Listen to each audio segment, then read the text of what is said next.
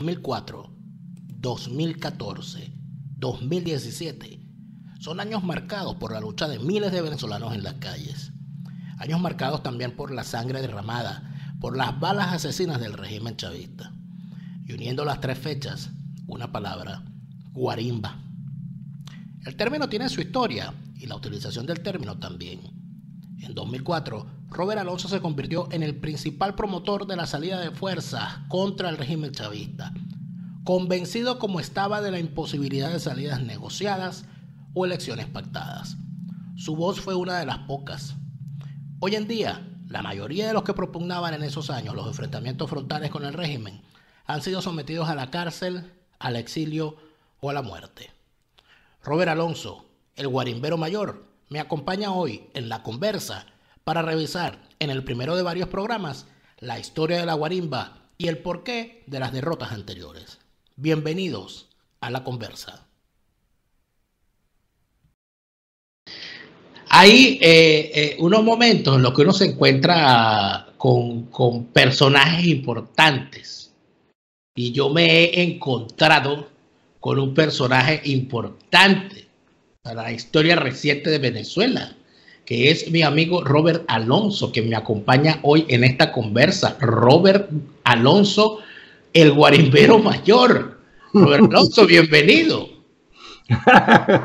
Oye, ¿cómo no, guarimbero mayor?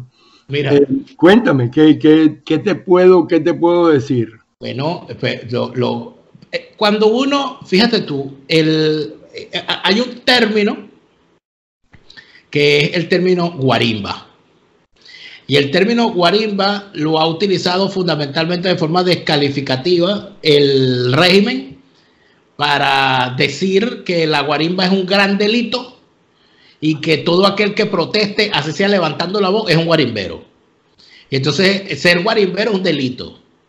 Sin embargo, para los que estamos convencidos de que en Venezuela no hay salida electoral ni negociada posible con un régimen como el que tenemos, nos ponemos a pensar, bueno, pero entonces si no es por la vía negociada ni por la vía electoral, entonces es por la vía de la fuerza.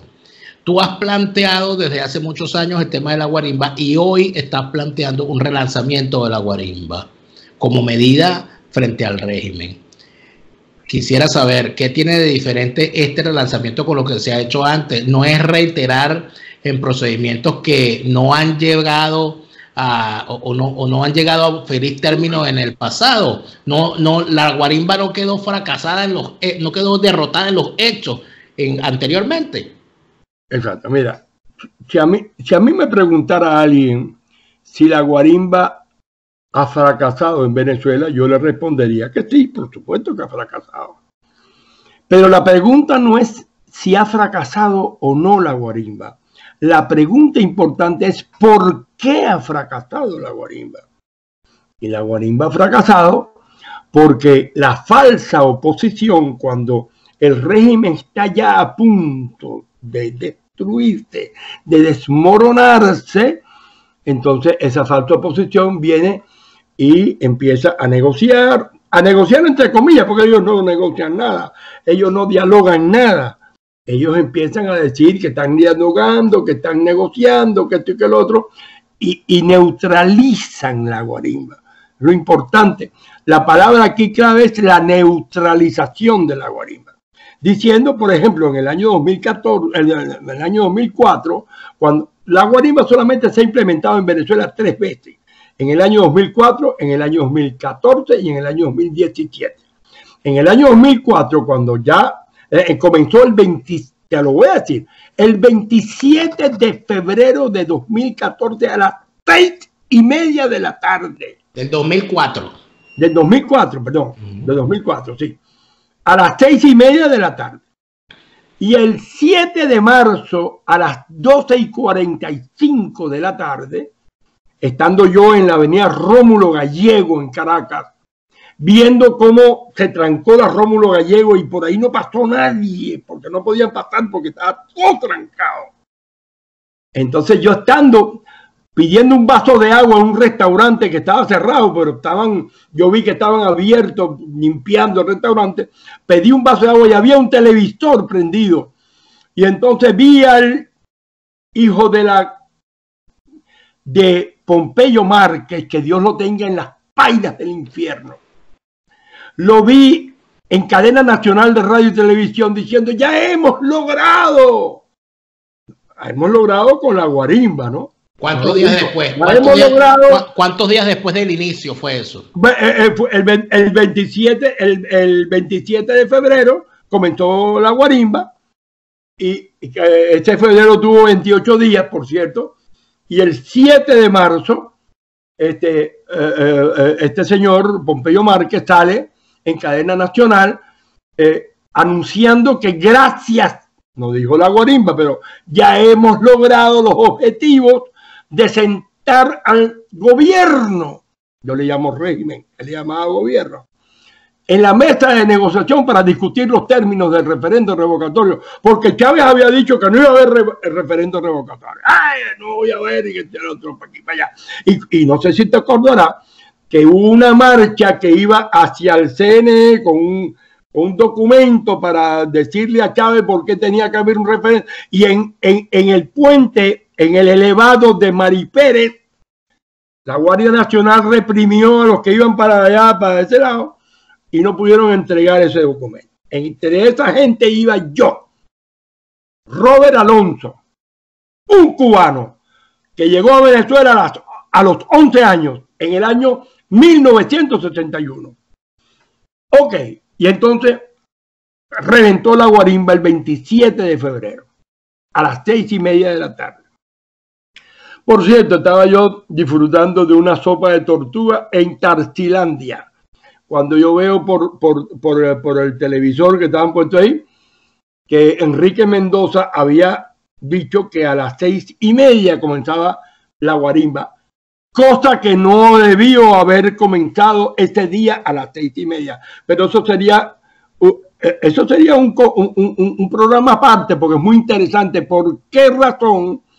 Enrique Mendoza adelantó la guarimba. Es importante decir algo, eh, Robert, con respecto al 27 de febrero del 2004, para lo relacionado a meternos en contexto, que ese día se estaba realizando en Caracas la cumbre de los países no alineados.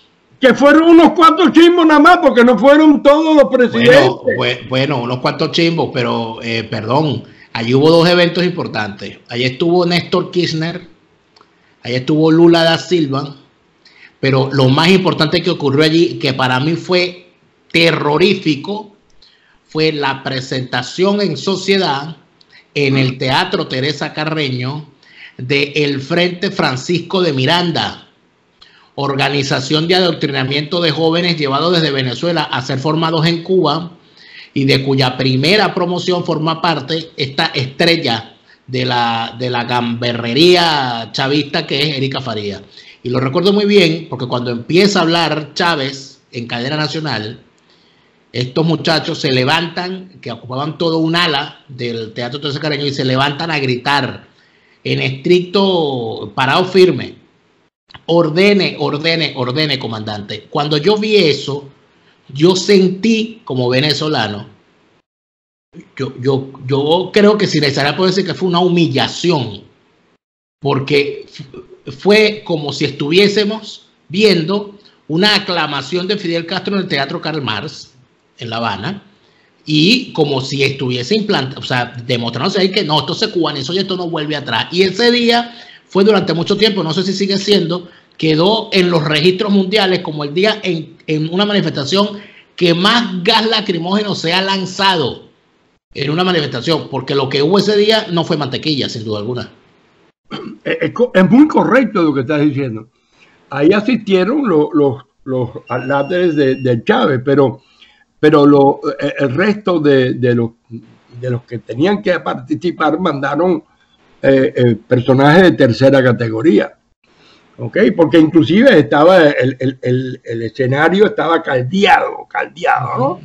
Bueno, el caso fue que, no, te digo, esto teníamos que hablarlo en otro programa porque es muy interesante y es extenso, pero no se suponía que la guarimba comenzara el 27 de febrero del año 2004. Este, Enrique Mendoza nos traicionó nos traicionó convocando la guarimba el 27 de febrero del 2004. Traidor, traidor. Cuando yo veo aquello, yo estaba almorzando en, el, en Tarsilandia, un restaurante muy famoso, muy famoso, no sé, no sé si existe todavía. Una sopa de tortuga, por cierto. Ilegal, porque estaba, no sé, era prohibido comer animales de la fauna. Bueno, y yo veo aquello y digo, pero ¿cómo es esto? Y empiezo a llamar a gente, empiezo a llamar, ¿cómo es esto? Que no, para aquí para allá que nos traicionó. Y revienta la guarimba, la primera guarimba del año 2004, 27 de febrero, de a las seis y media de la tarde. Bueno, pero se le sale de las manos porque la cosa funcionó. La cosa funcionó. Y se revienta la guarimba y no, no como dicen ellos que solamente en el este de Caracas, no señor.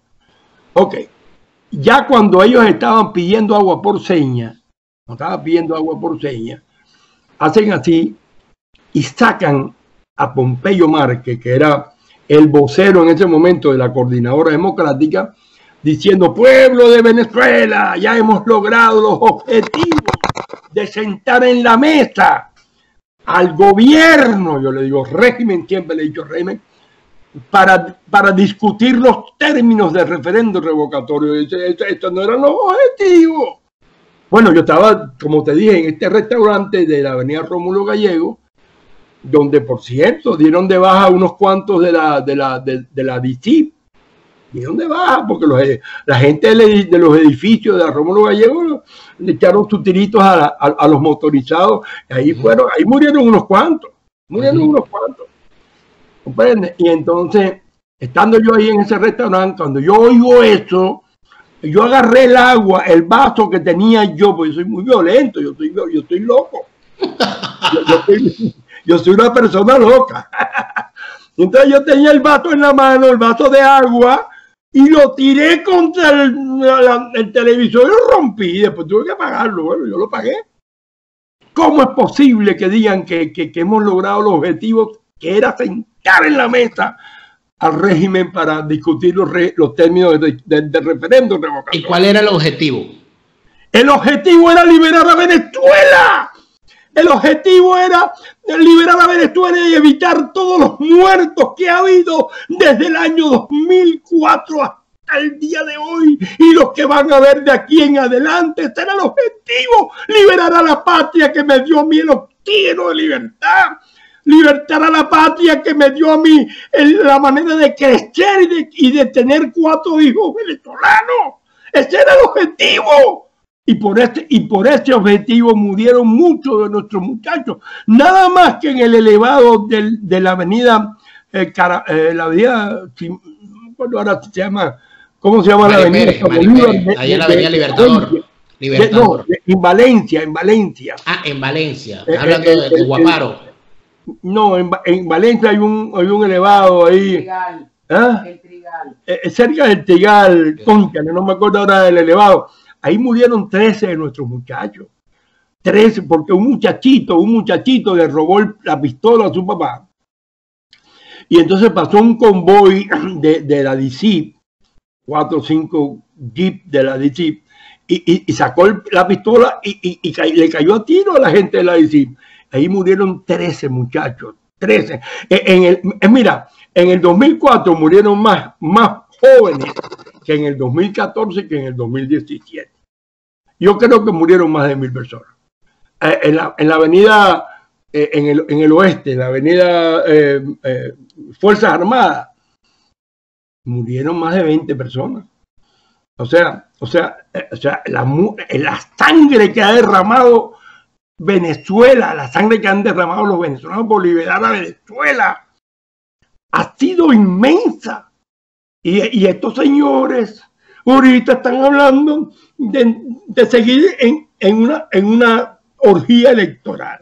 Ahora, pero entonces lo que ocurre aquí es que se desata la guarimba a, que se había organizado para liberar a Venezuela. Enrique Mendoza la adelanta, de eso hablaremos en otro programa, de por qué la adelantó y todo. La traiciona, la, adelanta y la traiciona. Eh, y eso entonces se da el 27 de febrero a las 6 de la tarde, viene el 28, el 29, el tren, el, el 28, el 27, el 28, el primero, el 2, el 3, el 4, el 5, el 6 y el 7 de marzo. Pompeyo Marco la de, Pompeyo Marco la detiene diciendo que se logró el objetivo de sentar al rey. Esa fue la primera guarimba que no logra sus objetivos. Exactamente.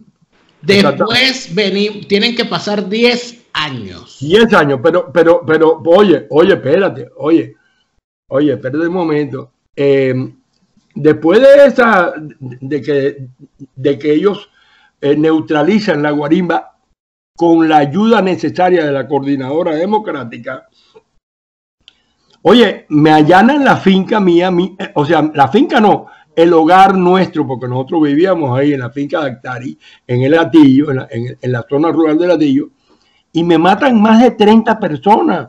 Me matan a dos, a dos hijos de crianza, los de, le cortan el, cuello como, como hace ISIS. Mataron a todos los animales, 40 caballos, o sea, hicieron un y me convierte en mi casa, una casa que tenía cuatro niveles, y yo tengo todos estos videos, porque te dicen, no, yo tengo todos estos videos publicados en internet, nos convierten en polvo y escombro. Y dicen que yo metí a una cantidad de, paramilitares en mi finca y esto y que lo otro, y sale Hugo Chávez diciendo esto y tal lo otro. Y, este, y yo me salvo porque, por, por cuestiones de Dios me salgo y me voy para, para el exilio. Estando yo en el exilio, me llama mi mamá y me dice, ¿tú, estás viendo Globovisión? Porque aquí te veía Globovisión. Digo, no, ¿qué pasa? dice, en tu casa está todo el mundo, está, el ministro de la defensa, está todo el mundo está ahí metido ahí, se metieron en, a rapel con helicópteros y cosas y mataron a todo el mundo ahí, mataron a todo el mundo. Entonces, bueno, pero yo, yo digo, ahora, ahora, me, ahora me pongo, ahora me arrecharon más, ahora me arrecharon más.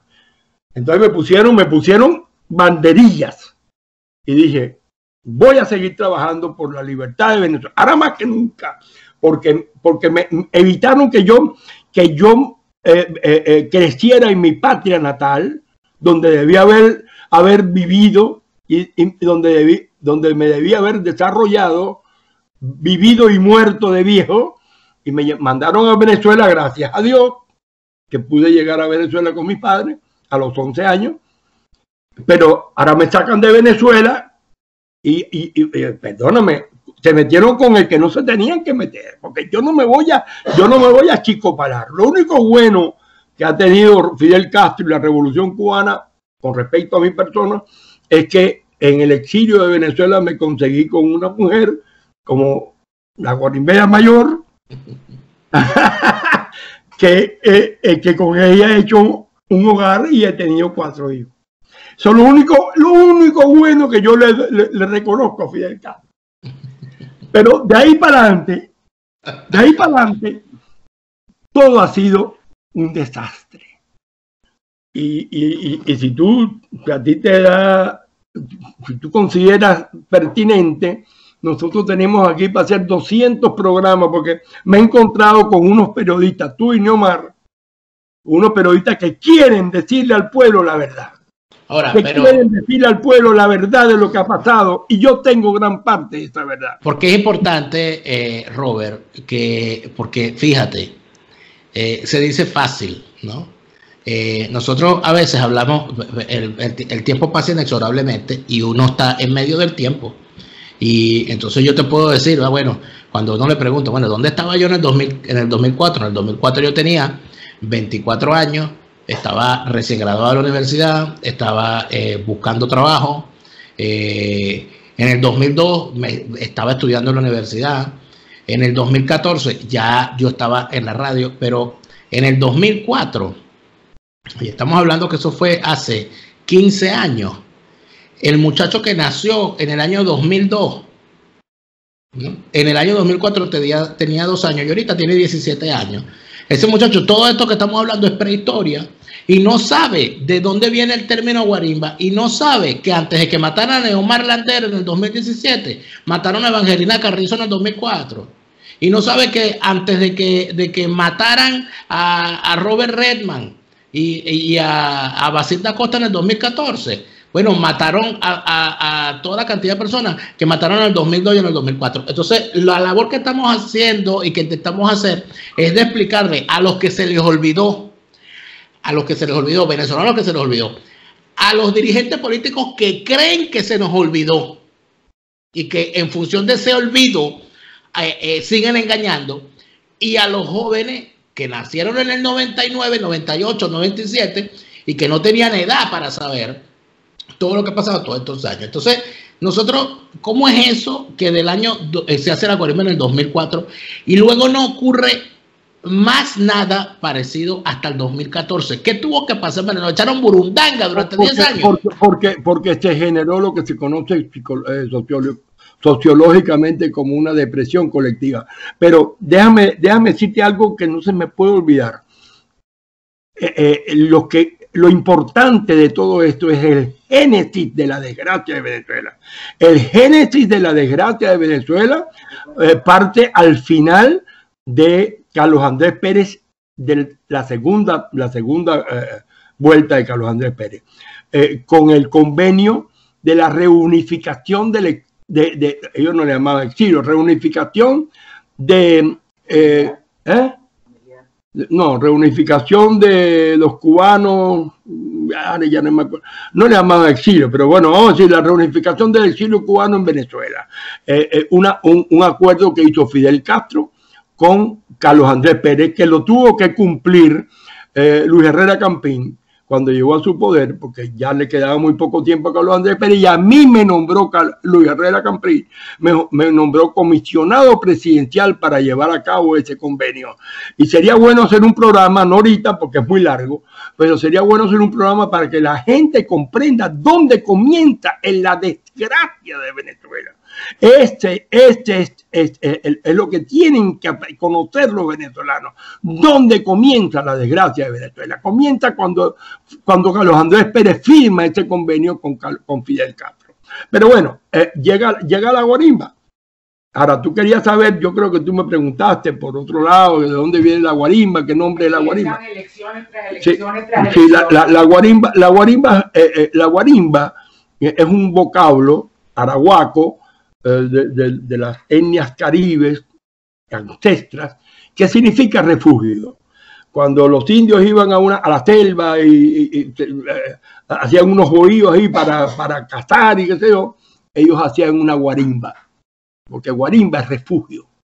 Entonces, en la época de Carlos Andrés eh, de, de, de, de Pérez Jiménez, en la época de Pérez Jiménez, los comunistas inventaron una, estrategia que ellos le llamaban la guarimba. ¿Y cuál era la estrategia de los comunistas? Era quemar, por ejemplo, estaciones de gasolina. Bueno, y te puedo decir que cuando, cuando la guarimbera mayor eh, llegó a, a, Maiquetía en el año que 61. No, en agosto del 60. En, en, agosto del 60. Ella estaba llegando con su familia, con su papá y su mamá, estaba llegando de Maiquetía y tuvieron que parar el carro inmediato porque, porque había una explosión de una bomba de gasolina. En Katia. Entonces, el único lugar, eh, eh, el, único lugar donde se podía llegar a, Caracas. Y entonces, era, era los comunistas que habían puesto una bomba en una bomba de gasolina. Y entonces, ¿qué es lo que hacían ellos? Ellos corrían hacia una guarimba. ¿Cuál era la, guarimba? La guarimba era una iglesia católica. Imagínate tú, unos ateos comunistas poniendo bombas en Caracas y, refugiándose en la iglesia católica. Y, ellos le llamaban a esto la guarimba. Mm. Cuando, cuando después del 11 de abril, que una masa de más de un millón de venezolanos se dirigían hacia Miraflores, y yo tengo la historia de esto, y escribí un, eh, escribí un libro ya lo terminé, pero no lo publiqué porque me, me pidieron por favor que no lo publicara. Bueno, eso también podemos, otro, otro programa. Bueno, entonces, eh, un millón de personas dirigiéndose a Miraflores, eh, en, más de 10, en menos de 16 segundos, según el video que tenemos grabado, ellos neutralizaron a la gente que iba hacia Miraflores y se produjeron no sé, 15, 18, 20 muertos y, más de 30 heridos de bala. Entonces nos reunimos en, el centro comercial del Marqués, tres personas y yo. Y entre ellos estaba el general Barrio, ya fallecido. El general Barrio era un general que venía de la época de Pérez Jiménez. Y el general Barrio nos habló de, la, de una estrategia que los comunistas llamaban la guarimba. Y nos explicó, la guarimba era este, este, este ellos se guarimbaban, se, se, se, se refugiaban en las iglesias católicas. Entonces ahí nació el concepto moderno de la guarimba. Y entonces nosotros dijimos que nosotros no podemos poner bombas, no podemos quemar cosas, pero podemos trancar la, el, país eh, basándome en una experiencia de Vietnam, ¿ok? Una experiencia que tuve yo personalmente en Vietnam, donde el Vietcong abría huecos y, entonces ellos tenían unos, unos túneles y en esos túneles tenían hospitales y tenían una cantidad de cosas. Entonces ellos dateados sabían que había una columna de, de, de soldados norteamericanos con eh, eh, apertrechados con, con, armamento de punta, armamento de, y entonces venían, nos tiraban con, con chopos, con chopos, eh, eh que son, que son escopetas hechas caseramente, nos mataban a dos o tres, nos herían a cuatro o cinco y corrían para sus huecos, corrían para sus, uh, sus túneles, para sus su guarimba. Para sus guarimba. Ahora, pero, pero fíjate, porque el tiempo pasa y, y, y, se nos van a quedar tantas cosas. Del 2004 al 2014 estuvimos, y voy a, voy a contarlas, ¿ok? En el 2004 hubo el referendo revocatorio por el cual, según Pompeyo Márquez, fue para lo cual hicimos la guarimba. Eso fue en el 2004. Luego del referendo revocatorio hubo unas elecciones regionales donde se apoderaron de los 24, de los 23 estados, se apoderaron de 20, de 21 y solamente quedaron de gobernadores Manuel Rosales en el Zulia y Morel Rodríguez en Nueva Esparta. En el 2005 hubo unas elecciones municipales. En el 2006 hubo elecciones presidenciales. En el 2007 hubo el referendo por la enmienda, por la, por la reforma. En el 2008 hubo elecciones regionales otra vez. En el 2009 hubo el referendo por la enmienda. En el 2010 hubo elecciones a la Asamblea Nacional. Luego, en el 2012, ahí sí nos fuimos de Maraca porque ahí hicimos, en el 2012 hicimos las primarias opositoras, hicimos las elecciones presidenciales, hicimos las elecciones regionales y en el 2013 se muere Chávez y se hacen otras elecciones presidenciales. Bueno, Chávez se murió en el 2012, diciembre de 2012. Y, y, pero bueno. Pero sí, el pero punto es el siguiente, por el punto es el siguiente. Una, dos, tres, cuatro, cinco, seis, siete, ocho, nueve, diez, once, doce elecciones entre el 2004 y el 2014, en 10 años. En Venezuela, en 10 años, cuando no había descentralización, se hacían dos elecciones. Y cuando había descentralización, se hacía una elección cada tres años. O sea, nosotros, la burundanga de, del país fueron las elecciones durante esos 10 años. Exactamente, y yo he hecho mucho énfasis en burundanga y burundanguero. Mm. Y, y, y, ¿qué es lo que pasó? Que, que el pueblo quedó tan decepcionado que, que se, se, produjo lo que se conoce, claro, social, socioecológicamente, sociopolíticamente, como una depresión eh, eh, generalizada. Mm. Entonces el pueblo bajó la guardia y pudieron hacer todas esas marramuncias que tú estás mencionando. Uh -huh. y, y, marearon al pueblo con elecciones, con, con, con falsedades. Y, y, los, y los más lo, los más traidores no han sido los castristas, no han sido los comunistas, no han sido los chavistas, los más traidores han sido los miembros de la MUD, del, del, de, de, la um, eh, bloque, democrático. Eh, bloque, democrático. primero, eh, no, no, la, la, la coordinadora democrática, pues el bloque democrático, no, la coordinadora democrática, democrática y después la MUD. Pero, pero, pero fíjate, pero ajá, que ya pasamos entonces esta burundanga de, de, elecciones y llegamos al 2014. ¿Qué pasa en el 2014? En el 2014 aparecen el señor Leopoldo López, la señora María Corina Machado y el señor Antonio Ledesma y convocan un movimiento llamado La Salida. En ese movimiento llamado La Salida eh, llaman a la protesta. Eso fue el 2 de febrero del 2014. Y el 14 de febrero, el régimen, fiel a su forma de ser, ¿okay? Arremete con la hazaña asesina que solamente un psicópata como Miguel Rodríguez Torres era capaz de, ejecutar y se lanzan a asesinar a la gente. ¿Hubo guarimbas en el 2014? Claro, en 2014 se prendió la segunda guarimba, pero déjame decirte algo que mucha gente no sabe y seguramente que tú tampoco, porque esto es una cosa privada nuestra. En el 2013 nosotros contactamos a todos los dirigentes estudiantiles de Venezuela, incluyendo a Juan Requesén, por cierto, a Juan Requesén. Algunos de ellos, no voy a decir a quiénes, pero algunos, tres o cuatro de ellos los trajimos a Miami, lo trajimos a Miami, le dimos financiamiento le enseñamos, hay, hay, yo te puedo mandar a ti después un, documento que, es el que le mandamos a todos los líderes estudiantiles para que ellos entendieran bien cómo era el concepto de la guarimba, etcétera, etcétera. O sea, lo organizamos porque ya creíamos que las condiciones objetivas de Venezuela estaban dadas para crear una segunda guarimba. Mm. la primera tiene 10 años que se creía. Y entonces todos estaban cuadrados en eso. El día 12 de febrero se prende en San Cristóbal una, se prende la, mecha, la mecha, la espoleta le llamo yo, para prender la guarimba, porque intentaron violar a una muchacha de la universidad. Yo creo que no la violaron, la intentaron violar. Ok. Y entonces ahí se prende en realidad la guarimba. No es lo que, no es lo de Leopoldo, no es lo de María Corina. de hecho, es interesante porque si tú agarras el, el, video de María Corina y de Leopoldo, el video de María Corina y de Leopoldo llama exacerbando al pueblo venezolano a una sublevación, vamos a decirlo así.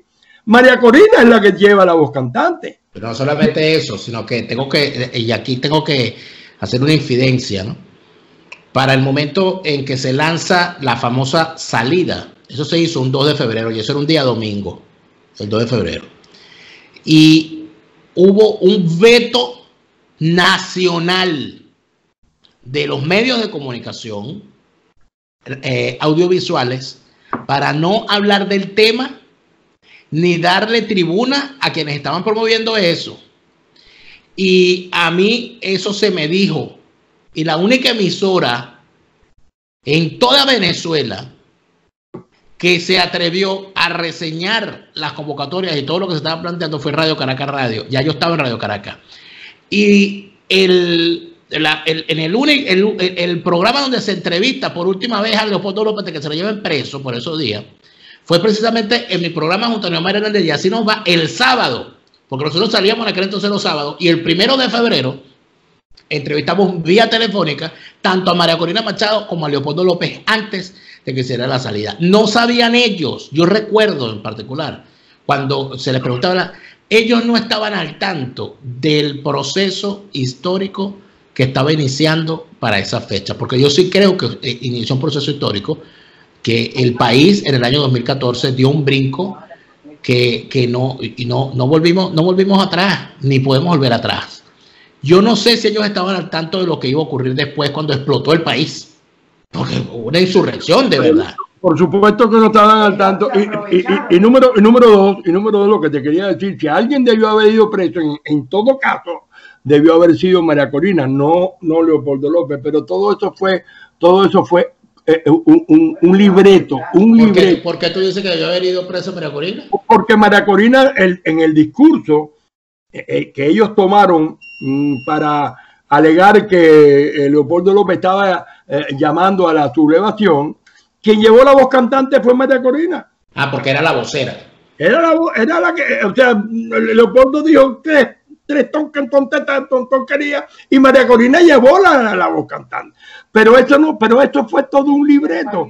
Ahora, yo por esto te digo, no, no lo dije aquí, pero te lo dije antes de hablar, que cuando tú vengas aquí a Miami, si es que viene, eh, quisiera que conociera a Roger Viva de Trujillo, que fue diputado por la, por la Asamblea en, en, Mérida, no, en Táchira. Y entonces él, él, es la persona, Roger Viva, que te puede decir cómo comenzó todo.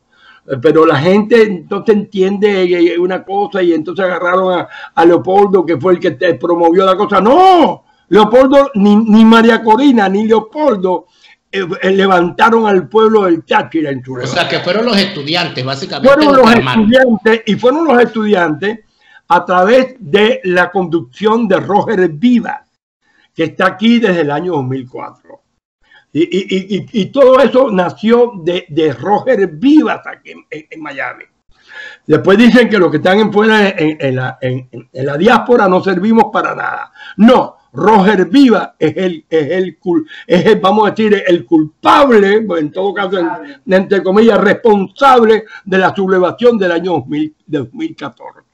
Y se lo achacan a, a, Leopoldo López, pero mentira. Yo ya yo te dije a ti que lo que pasó con Leopoldo López, que eh, eh, eh, nunca estuvo preso, esto es puro cuento. Ahora, pero, pero todo eso, pero eso ocurre, entonces tenemos la primera diferencia, ¿no? La primera guarimba fueron en el 2004. Y luego, para que volviese a ocurrir algo, tuvieron que pasar 10 años, al año 2014.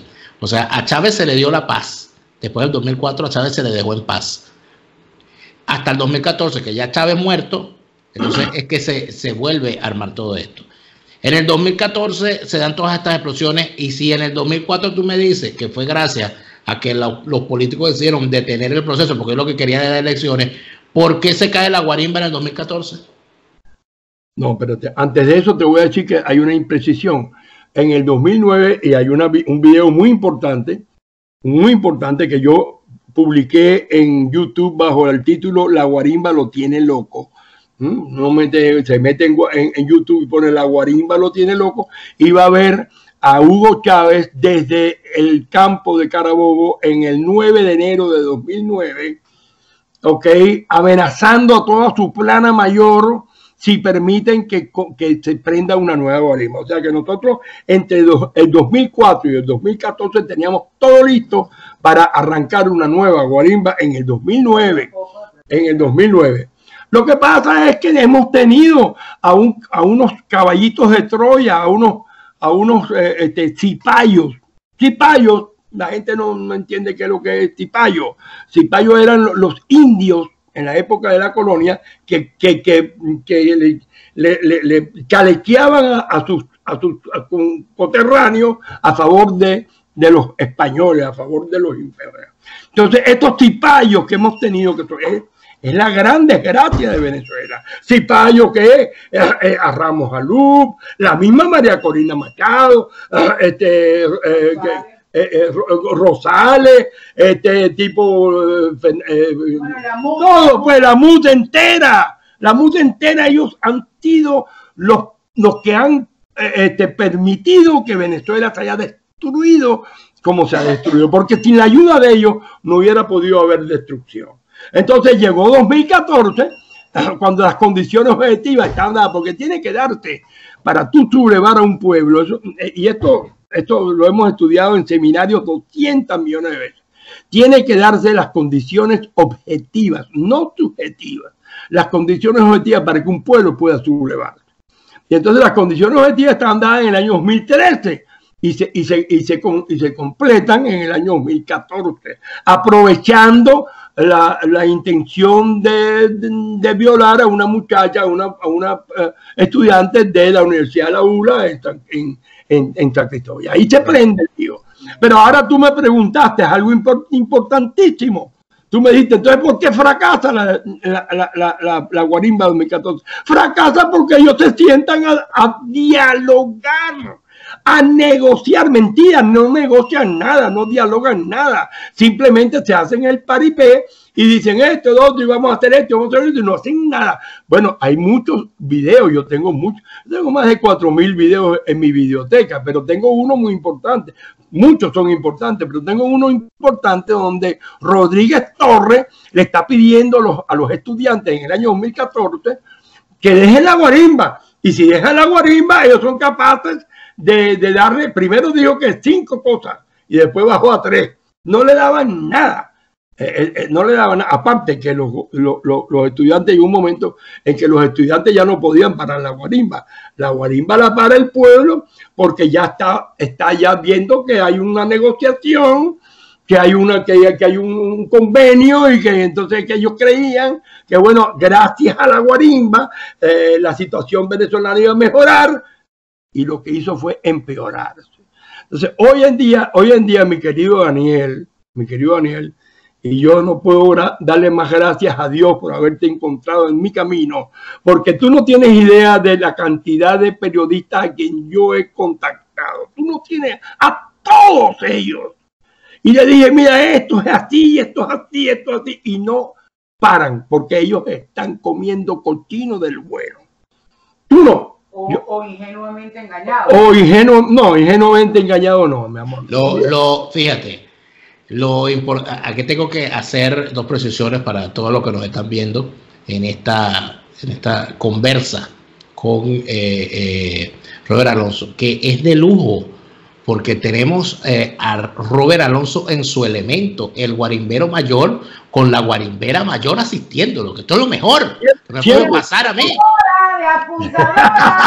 Yo, no voy a, yo no voy a ningún lado sin ella. Yo, no voy a ningún lado sin ella. Ella es, ella es mi, mi, mi memoria. Entonces, en el 2004 también hubo un diálogo, hubo una mesa de diálogo. Claro, en el 2017 también. En el 2014 también hubo diálogo. Y ahora en el 2017 la guarimba se prende también. Y la guarimba se prende. Perdóname, perdóname, perdóname, perdóname. En el 2004, Chávez llamó a la coordinadora democrática, y esto lo sé de, buena, de muy buena fuente. Chávez llamó a la coordinadora democrática y le dijo: hay un golpe de Estado de derecha.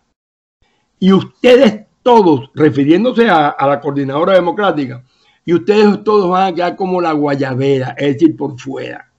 Y, eso es verdad, hubieran quedado por fuera. Y nosotros, nosotros hubiera, si nosotros hubiéramos ganado en 2004 y si ganamos ahorita, todas estas sabandijas van a quedar por fuera como la guayabera. Pero bueno, eh, y si ustedes no hacen algo, ustedes se van a quedar como la guayabera, por fuera. Y ahí sacaron a... Ah, bueno, y ahí empezaron a decirle quién iba a defender a la coordinadora democrática. Y, nadie quería, porque la gente creía que ya habíamos logrado el objetivo de liberar a Venezuela. Ahora, pero te tengo que interrumpir un momento. Tú estuviste todos estos años combatiendo al régimen, estuviste todos estos años en las posiciones más duras, eh, fuera, y lo hiciste fuera de partidos. Nunca has estado en un partido. En ninguno. En y ninguno. en Estados Unidos tampoco, en ninguno. La pregunta es, en algún momento, cuando tú planteabas todas estas salidas que eran las salidas fuertes y radicales, en algún momento Chávez intentó comunicarse contigo, te mandó algún mensaje, como para hacer esa cosa tan caribe de vamos a sentarnos aquí, nos tomamos un whisky, ¿qué es lo que tú quieres? Nunca hubo eso. No, no, no, no, no. En, en ningún momento él directamente me mandó mensaje. Pero sí, ahí en la, en la zona rural donde yo vivía, en el Atillo, había un individuo de apellido Bolívar que según él, según él, este, eh, él había, él, me estaba enviando un mensaje, él, tenía una, una, misión de apagarme, de, bajarme el volumen. Y, que, y que yo pidiera por esa boca. A mí me, yo tenía una, una, una multa, una multa porque yo me había excedido de construcción en mi finca me estaban cobrando una tontería que yo al final la pagué y, no, y, no le paré a eso. Pero que entonces que él me dijo que, podían inclusive eh, eh, eh, quitarme esa multa. Pero llegado aquí en el, exilio, llegado en el exilio, me, me, dijeron, me dijeron que me ofrecían un millón de dólares, un millón de dólares, si yo decía que la guarimba no servía, que yo me había equivocado, que esto y que lo otro, y que nosotros esto y lo otro para aquí para allá, y entonces que yo podía ir al consulado, todavía había consulado en aquel entonces, y dar una, una yo le dije, mira, yo necesito... ¿Y el cuento de cuando hizo la película? Eh, eh, bueno, sí, hay, hay, hay, hay, otras, hay otras, otras historias que después inclusive, ahorita no te la puedo comentar, pero en, privado te la comentaré, porque, porque es mucho más de un millón de dólares, mucho más de un millón de dólares. Pero yo dije no, yo, porque a mí lo que me gusta es, cuando yo me voy a la cama, a mí me gusta dormir. O sea, si después de media hora yo no estoy dormido, ya yo estoy mal. Entonces yo no podría dormir si yo me, eh, traiciono a mi familia. Eh, yo tengo varios fusilados en Cuba, tengo toda mi familia tuvo que salir de Cuba exiliado. Sufrimos una cantidad de, de adversidades saliendo de Cuba. Mi familia, la familia de mi esposa, mi suegra, que era una anticomunista, como te he dicho, por carta, una anticomunista rabiosa, y yo no, no podía traicionarlos a ellos. Además, yo a todas estas, yo te hago una gran, yo te hago una, una gran pregunta, porque esto, esto es algo que, que también la, mucha gente se pregunta. ¿Tú en qué momento viste? O sea, tú, eh, porque eh, muchos venezolanos quizás eh, en nuestra candidez, digo, bueno, ganó Chávez, este, bueno, cinco años con Chávez ahí. Es un mal gobierno. Es un mal gobierno, después vendrá otro. Cuando tú que llegaste, que eres venezolano nacido en Cuba, que tuviste que escapar de Cuba en las condiciones que escapaste y viste que llegó al poder un hombre que cuatro años antes de ganar las elecciones había ido a Cuba a abrazarse con Fidel Castro. ¿Ya tú veías el desastre venir o tú pensabas que la cosa no iba a ser tan así? Claro, precisamente. Eh, Daniel, Daniel, Daniel, el primer artículo, esto, es uno de mis grandes orgullos, el primer artículo que publicó el Miami Herald en inglés, porque el nuevo Herald en español, Miami Herald es en inglés. El primer artículo que publicó el Miami Herald en contra de Chávez lo escribí yo. Cuando yo descubro que Chávez eh, es un sátrapa, cuando intenta dar el golpe de Estado y se reúne de quien se reúne. Mi abuela decía una cosa interesante. Mi abuela decía, dime con quién anda y te diré quién eres y qué eres. Esa es la parte que, agregó mi abuelita Carmelina, que en paz descanse. ¿Y, ¿Y qué eres? Entonces, ¿quiénes eran los que rodeaban a, Chávez cuando intentó, cuando intentó, que por cierto, en ese momento él no quiso dar un golpe de Estado, eh, la intención no era tomar el poder, eh, él, emuló a Fidel Castro eh, cuando Fidel Castro el 26 de julio de 1953 cuartel Moncada. cuartel Moncada. La idea no era tomar el poder en ese momento, o sea, eh, por eso, si a, ti, si, a ti te permite el tiempo y lo consideras pertinente, podemos hacer como 20 programas. Ahora, Porque es importante ver cómo Fidel Castro indujo a, Chávez a hacer lo mismo que él hizo el 26 de, julio de 1953. Fíjate, fíjate algo, ¿no? Porque eh, evidentemente una cosa, una cosa planifica uno y otra cosa termina ocurriendo. Hemos, hemos revisado la guarimba original del 2004. Hemos revisado la reedición, la primera reedición de la guarimba en el 2014. No hemos llegado a una del 2017 y el tiempo se nos ha agotado. Pero yo lo que, lo que quería eh, eh, hacer, creo que es importante, es que eh, en, otro, en otro programa vamos a hablar de la del 2017 y de la que tú consideras que debe hacerse ahora. ¿Ok? Y eso lo haremos, por supuesto, pronto también, esta conversación. Pero la, gran pregunta, el gran planteamiento es, como conclusión de esto, ¿no? Cada vez que ha habido una acción de calle fuerte, como el 2004, en el 2014, en el 2017, arriba la solución del diálogo y de los pactos, que siempre son traicionados.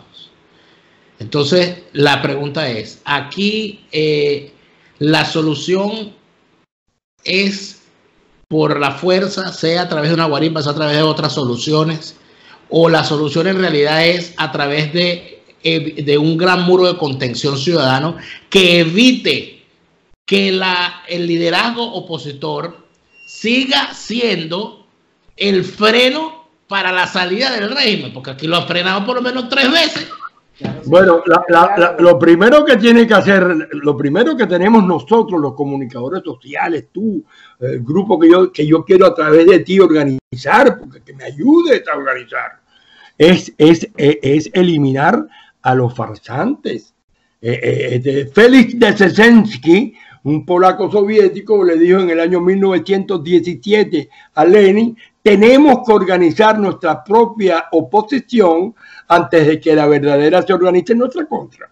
Entonces, lo, lo primero que nosotros tenemos que hacer es eliminar a esa gente, eliminar a esa gente que nos está chalequeando la libertad.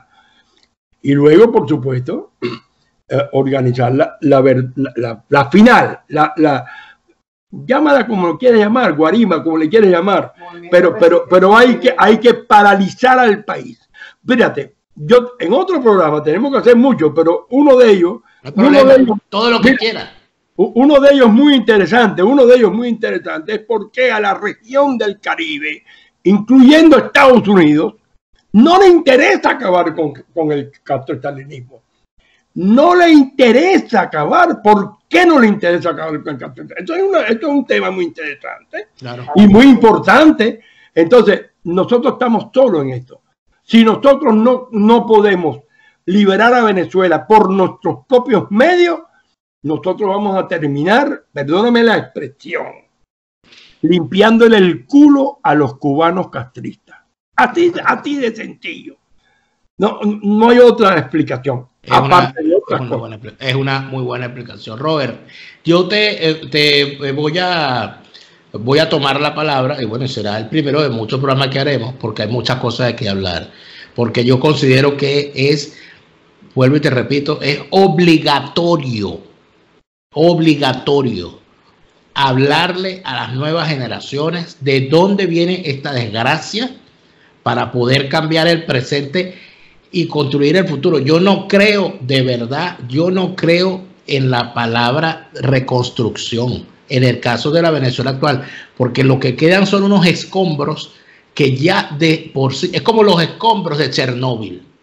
O sea, tú ahí no puedes reconstruir con esos escombros. Hay que construir una nueva Venezuela.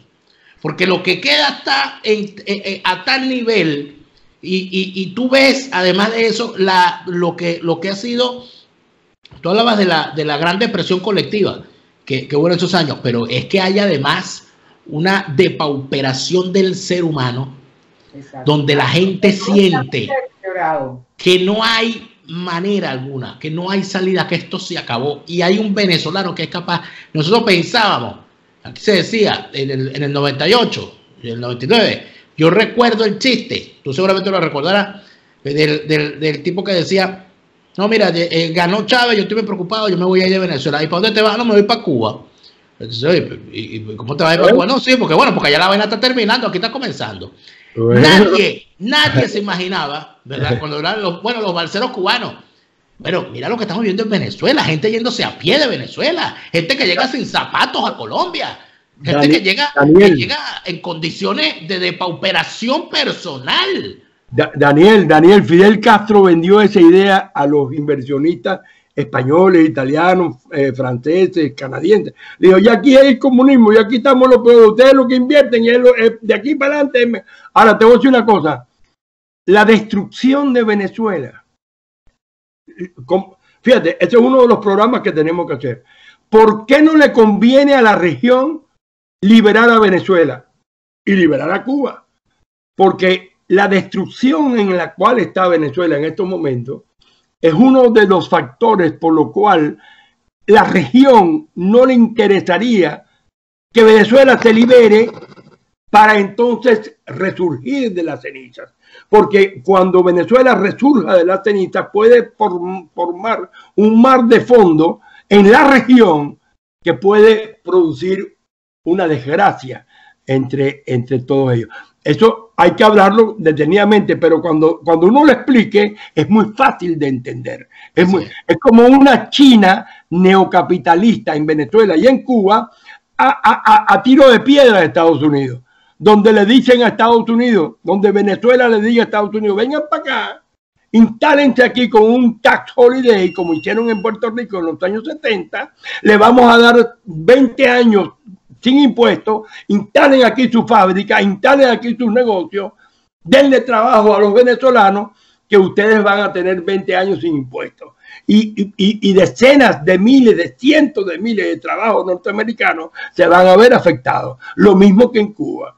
Entonces, es, es muy interesante. Y sobre esto, eso no es una idea mía, sobre esto se ha, se ha debatido mucho Así aquí es. en la Florida. Así es. Mira, Ok. eh, Robert, ha sido una maravillosa conversación. Esta conversa nos ha salido muy bien y espero que la repitamos pronto. Así que eh, quedas, quedas comprometido y la, la Guarimbera Mayor queda comprometida también a seguir haciendo su labor de acompañamiento.